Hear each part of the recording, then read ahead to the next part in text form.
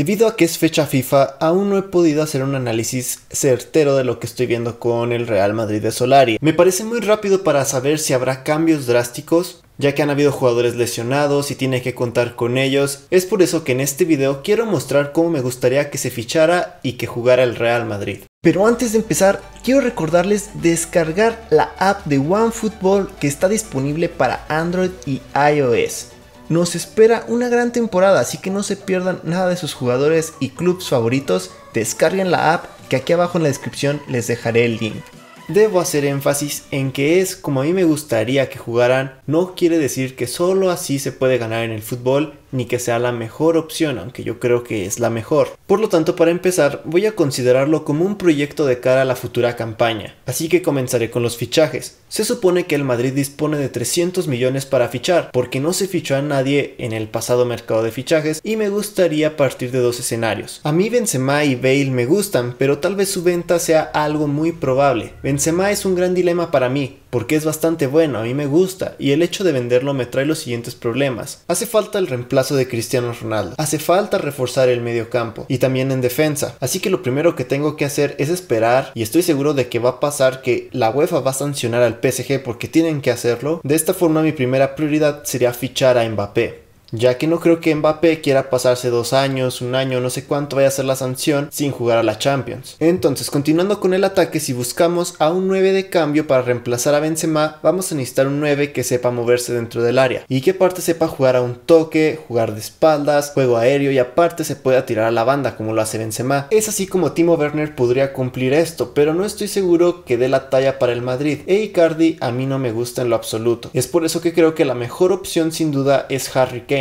el problema es que si se ficha a alguien como Kane tienes todo menos la velocidad, pero creo que es un goleador más seguro. Es así como yo creo que con lo que quedaría del fichaje de Mbappé más la venta de Benzema se podría fichar tal vez a Harry Kane. Por eso planteé dos escenarios uno con Harry Kane y otro en donde Benzema siguiera, porque creo que el problema de gol del Real Madrid es también por la falta de creación de jugadas claras. Dentro de este problema está la banda derecha envuelta, porque Bale se lesiona mucho, por lo tanto Bale debe de ir por la banda izquierda y con el fichaje de Mbappé él iría por la banda derecha. Ahora, alguien le puede llegar a la mente el nombre de Hazard para cambiarlo por Bale y yo no haría eso. Por más que Bale se lesione, para mí es mejor que Hazard, ya que Bale funciona mucho más para mi sistema, aunque se lesione. En lo único que gana Hazard es en regate, pero nunca me va a meter un gol de cabeza. No tiene la velocidad de Bale y por supuesto que Hazard no me metería un gol como el que metió Bale en la final contra el Liverpool. También un buen fichaje para mí sería el Charawi porque me gustaría vender a Marco Asensio, ya que yo pienso que si el Charawi no renueva con la Roma o incluso renovando, para mí podría salir en el próximo mercado de fichajes, sobre todo cuando dicen que Klopp está interesado en Dembélé. O sea, pienso que el Charawi en un Liverpool caería mejor. De hecho, desde que está en la Roma ha ido mejorando, volviendo a recuperar su nivel, ya no ha tenido las mismas lesiones y tiene mucho más desborde, tiene disparo de dos piernas y sobre todo sacrificio defensivo que Asensio. Tiene buena visión de campo, juego rápido, simplemente el Charabo es un jugador que me gusta para la forma en la que a mí me gusta el fútbol. Pero volviendo a la realidad, lo más probable es que no llegue. Y sobre todo no puedo olvidarme de que estarán Rodrigo y Vinicius, así que serían mis principales cambios para Mbappé y Bale. Ahora toca resolver el dilema del medio campo, con Isco, Modric y Casemiro. Yo les puedo decir que le ofrecería un cambio al Tottenham de Isco por Eriksen para que sea el reemplazo de Modric en el futuro. No digo que voy a vender a Modric, pero probablemente ya no quiera seguir la próxima temporada o tal vez sea su última temporada en el Madrid, porque ya va a cumplir 34 años. Yo creo que podría jugar también la temporada de cuando va a cumplir 35, pero eso solo lo sabe él. Sin embargo, mi problema es el siguiente. A Isco lo voy a vender porque lo voy a vender, ya que probablemente llegue James. Así que mi problema es que no hay futbolista para reemplazar a Modric actualmente. Yo tengo mis prospectos, pero ninguno de ellos está al nivel para reemplazar a Modric. Y es que Eriksen es fantástico en la creación de juego, ya sea saliendo desde atrás, cerca del área, tiene un gran remate, pero no hace las mismas labores defensivas que hace Modric. Y todos hemos visto este Madrid sin Modric, porque Modric apenas está recuperando su nivel. Por lo tanto, Eriksen queda descartado junto con Pjanic, porque creo que es también imposible ficharlo, sacarlo de la Juventus actual va a ser muy difícil, aunque sería la mejor opción tal vez. Es por eso que me tengo que decidir entre fichar a alguien como Julian Bagel o Brozovic, además de seguir observando a Lobotka. Es así que de esta forma yo creo que hace falta tener más bien a alguien que sea como Xavi Alonso, nuevo Xavi Alonso, para que en realidad sea suplente de Cross y de Casemiro. La primera opción es Brozovic, que no creo que venga para ser suplente. Por lo tanto llegaría Bagel, que sería más bien el reemplazo más exacto a Casemiro que hace falta. Fichando a Bagel vería más cercana la posibilidad de hacer el cambio Isco por Eriksen, pero quiero explicar por qué lo descarté. Es simple y sencillamente que por eso hay una opción en la que llega Kane y otra en la que está Benzema. Esta es la opción de Benzema y aquí se podría fichar a Eriksen.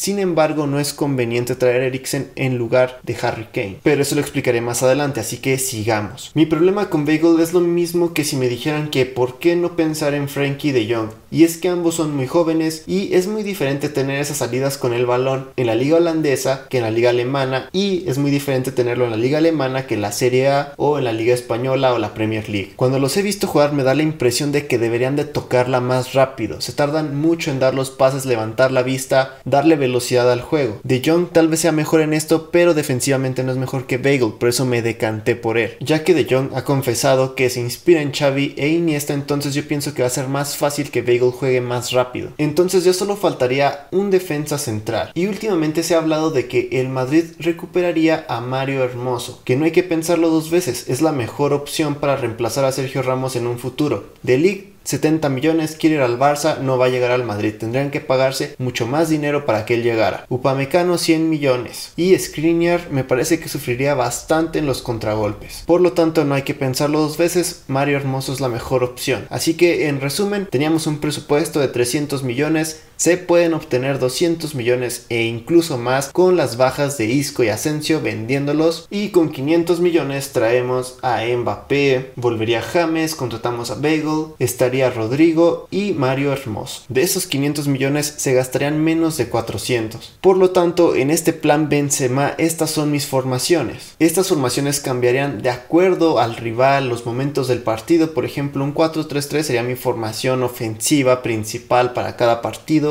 Y las demás, como dije, ya dependerían más del rival, pero con estos jugadores tendríamos una gran versatilidad.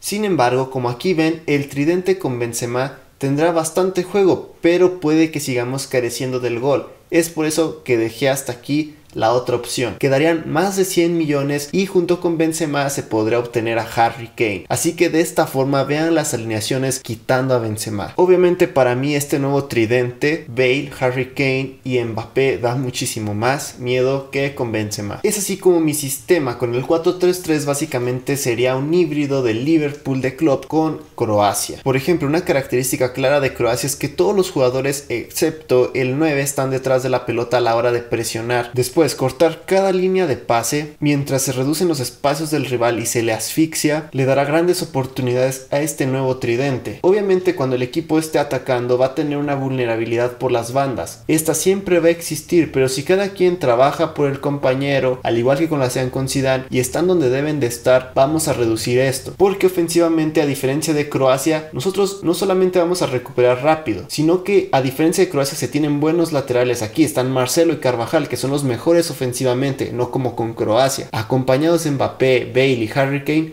tenemos para hacer daño por las bandas. Centros y remates letales del tridente, triangulaciones también de ellos tres, remates de media y larga distancia y sobre todo en la presión alta, como ya dije, siendo efectiva, Mbappé, Kane y Bale son mucho mejores que el tridente de Liverpool. Se tendría un equipo que puede tener la pelota y la generación de juego en el medio campo que tiene Croacia y un juego por las bandas con un tridente más letal que el de Liverpool. Aparte de que defensivamente Sergio Ramos, Varane, Mario Hermoso son mejores que los defensas de Liverpool y de la selección croata. Este sería un equipo en condiciones para enfrentarse a la poderosa Juventus que es el mejor equipo actualmente. Esto es todo y como dije esta es mi visión. En realidad esta plantilla es muy buena, no hacen falta falta muchos cambios para mí, por eso creo que debe de venir Klopp. Yo sé que pueden haber otros sistemas, se pueden fichar a otros jugadores, se pueden hacer cambios más profundos, que algunos digan yo quiero ser como Pep Guardiola y renovar toda la plantilla porque el Madrid tendrá bastante dinero, renovar cada posición, decir ya no quiero a Cross, ya no quiero a Modric y quiero jugar así. Hay muchas opciones diferentes a la mía y por eso me gustaría que pusieran aquí abajo su versión como les gustaría que fuera el Madrid, que lo pusieran aquí en los comentarios o me digan qué opinan de esta que yo hice. Espero les haya gustado, no olviden compartirlo y suscribirse porque nos vemos en el próximo video. ¡Sí!